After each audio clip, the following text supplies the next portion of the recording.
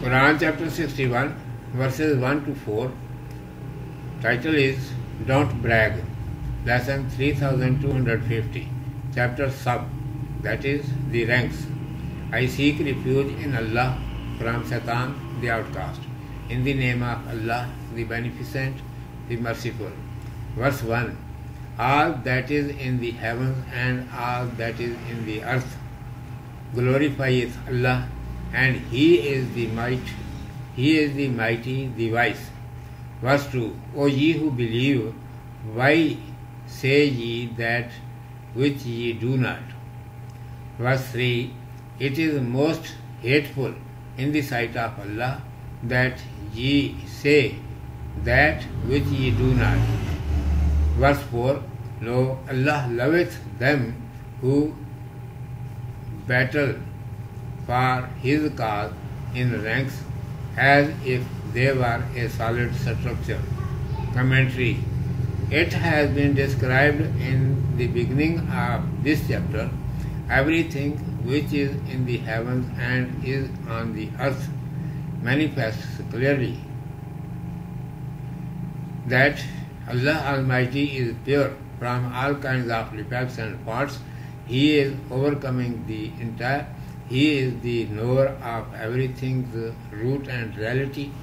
After that, it is commanded, O believers, why do you say what you do not do?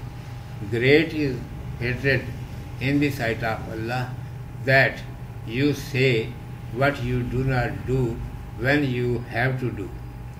Known from it is that those people who boast by their tongues that if any if an opportunity is given to them they will do best.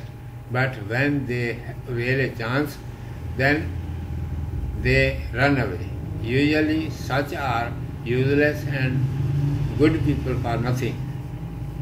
Then it is commanded allah almighty loves those people very much who fight in his cause in a row as though they are a single structured giant firmly. Urdu में समाज फरमाइए। फरमान है, डेंगे, डिंगे मत मारो। आऊज बिल्लाहि मिनश शैतानिर रजीम। बिस्मिल्लाहिर रहमानिर रहीम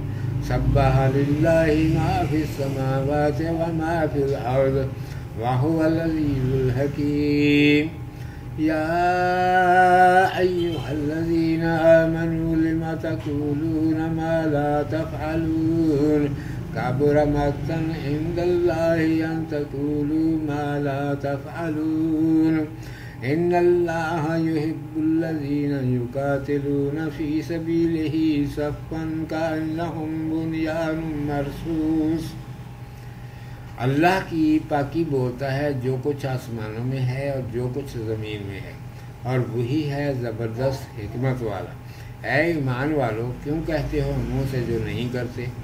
बड़ी बेजारी की बात है अल्लाह के यहाँ कि कहो वो चीज़ जो ना करो। अल्लाह चाहता है उन लोगों को जो उसकी राह में लड़ते हैं। कतार बाँध कर के गोया वो दीवारें हैं, सीसा पिलाई हुई। मरसूस सीसा पिलाया हुआ। इसम मफूल है। रसुन से रसुन के मानी खूब मिलाकर जोड़ देने के हैं कि बीच में जरी ना रहे। इसके अज्जा बहम मिले हुए होते हैं। दीवार के जोड़ों में शीशा पिघलाकर भर देने से दीवार खूब मज़बूत और बहम चस्पा हो जाती है। ऐसी दीवार को मरसूस कहते हैं। सूरत के शुरू में कहा गया है कि जो आसमानों में है और जो कुछ ज़मीन में है, वो साफ़ साफ़ ज़ाहिर कर रहा है कि अल्लाह सुबहान वाली हर ऐब और नक्स से पाक है और वो सब पर गालिब है और उसे हर बात की जड़ और असल मालूम है। इरशाद है कि ईमान वालों तुम मुँह से ऐसी बात क्यों क्यों कहते हो जो तुम नहीं करते?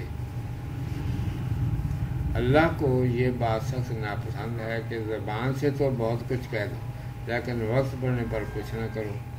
यहाँ से मालूम हो गया कि जो लोग ज़बान से बड़े बड़े दावे करते दावे करते फिरते हैं कि हमें मौका दो। कि हमें मौका दिया जाए? तो हम ये इंतज़ार, इंतज़ाम करें और ये काम करें। लेकिन जब मौका हाथ आता है तो दुम दबाकर खिसक जाते हैं। वो अमूमन निकम्मे और नाकारा लोग हैं। आगे इर्शाद है कि अल्लाह सुबहाना व तो सबसे ज़्यादा ये बात पसंद फरमाता है कि उसका हुक्म बजा लाने के लिए दुश्मन के मुकाबले में मज़बूत दीवार की तरह डट जाओ। सदक मौलाना अजीम।